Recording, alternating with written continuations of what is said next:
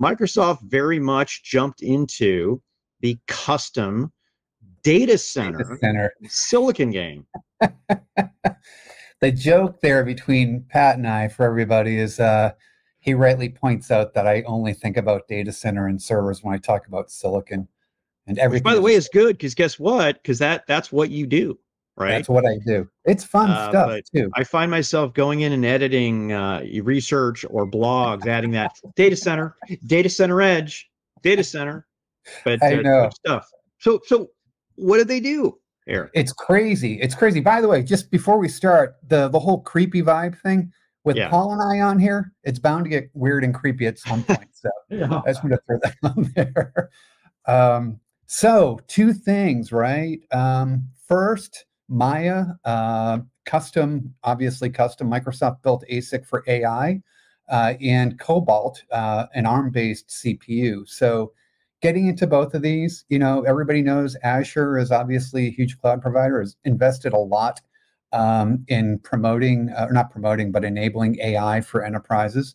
The work they've done hosting uh, OpenAI and uh, a lot of other work um, is just, it's absolutely incredible. So, you know they um, and while they partner with with all of the major players um, lo and behold uh, they announced at ignite first day of ignite that uh, they've created or they've designed and built this this asic this ai asic known as Maia.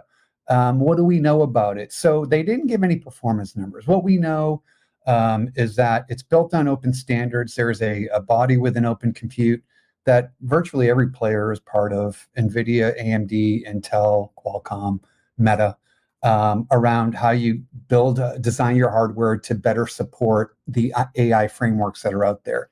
And, uh, and Maia was built to those specs. That's a good thing. So embracing openness, which we all love. Um, we also know that you can fit four of these onto a, a server motherboard. Uh, and you know, while we haven't seen performance performance numbers, it's clear that this is, you know, they're positioning this as um, as that enabler, just like the H100 is, just like the MI300 is, of of Gen AI and and other AI workloads. Um, we forget there are other AI workloads out there. Um, what I found really, really interesting about this two things. The first is um, the first is that they, uh, as as Microsoft did this, they actually kind of went down this path of when you think about sustainability and how you power these things and cool them, they actually built their own their own liquid cooling method or uh, method or, or product to go along with it called Sidekicks, um, which I thought was really fascinating. Um, that's the first part. The second part is, you know, they took this they took this approach with Maia that um, I, I absolutely embrace, which is if you're really going to provide the best absolute performance for your AI stacks to the to the marketplace, you got to customize it from the ground up, right? You've got to have that fully enabled platform from silicon all the way up through the stack to provide what it, what you can do for best uh, best uh, performance and perform, performance per dollar.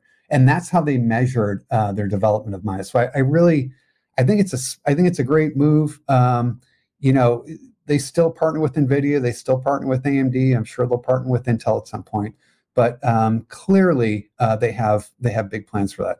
Part for Maia. Part two, Cobalt.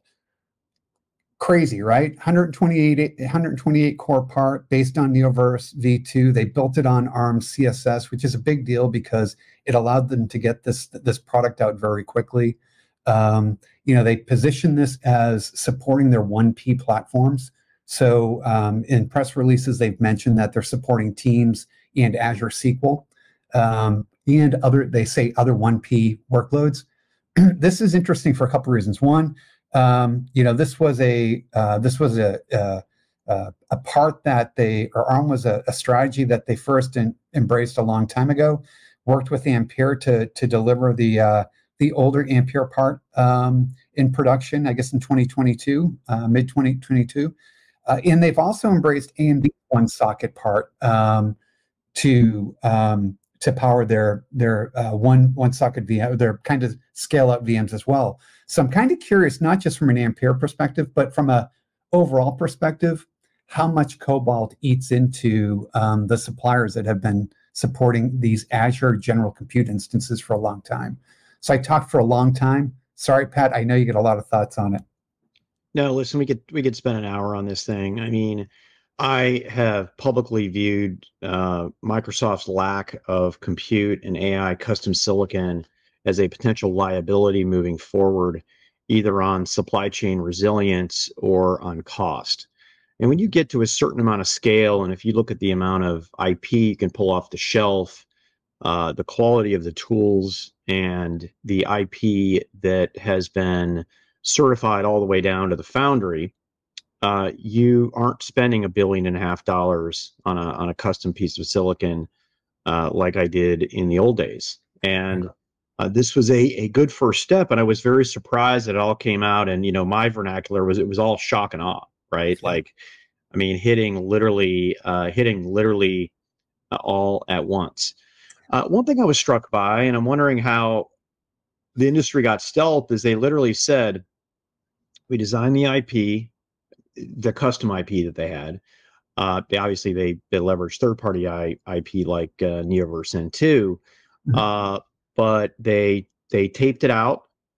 Uh, so all the way from design to tape out to validation and taking into the fab, and there was maybe one leak, right? Right on the information, and and I am just I am just dumbfounded. And w- what happened, and what I've what I've seen is that people didn't move their LinkedIn's over uh, and they didn't move their their Twitter or X handles over because yeah. you know one guy got up and said, "Hey, um, I, I could finally talk about what I've been working on for three years."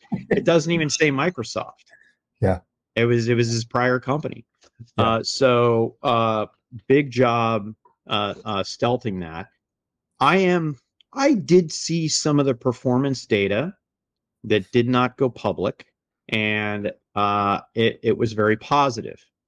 What I do want to see is I do want to see uh, the new custom silicon compared against AMD, Intel, AWS, and Google Cloud. Yeah. Um, and and by the way, I don't think it has to trounce it. I think even if it's close, it's uh, it's competitive, and if they manage their costs, they're not paying uh, an arm uh, uh and a leg. I also want to see pricing uh, for the custom uh, parts and pricing for the AMD MI300X, which, by the way, kudos to AMD. They got their first uh, CSP to uh, embrace it. Uh, I also want to know when the dates are going to be for full IaaS, meaning ever, anything on Azure. Like Graviton today, any customer in AWS can hit can can light those up, right? That is not the case uh, with Azure yet.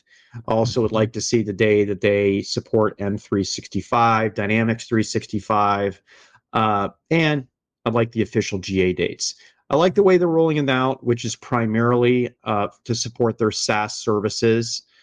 Uh, that this is what happened. Um, this is what Google did with the TPU. The first three versions were really internal only: Google Search, Google Photos, uh, stuff uh, like that. I, I, I don't think it's going to take three years. In fact, uh, this uh, Maia supports the Open Azure AI Service, which is fundamentally the ability to uh, light up, uh, light up, uh, light up stuff there.